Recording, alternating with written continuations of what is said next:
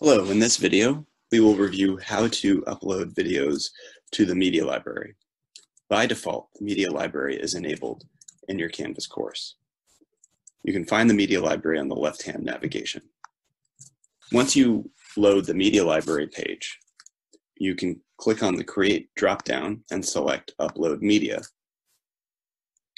You can either click on this window and navigate to the videos you like, or you can drag and drop uh, you can drag and drop up to 100 videos at a time. In this case, I'm going to drag over two Zoom videos that I made previously. I've also named my Zoom videos Test 2 and Test 3.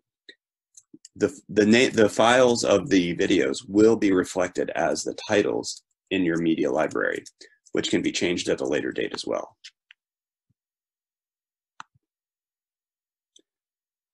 Upload times will depend on how long uh, your video content is.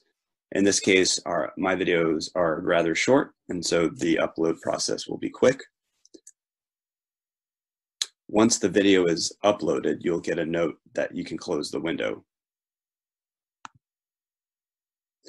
And they will start processing. At this point, you are done. If you if you have everything set up and the titles that you wish. You can again change the titles in the video.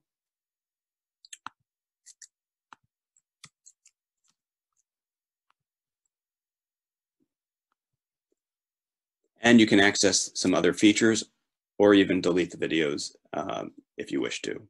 Students will only have viewing permissions. Once these are done processing, they, they will become active like this video here and viewable by students.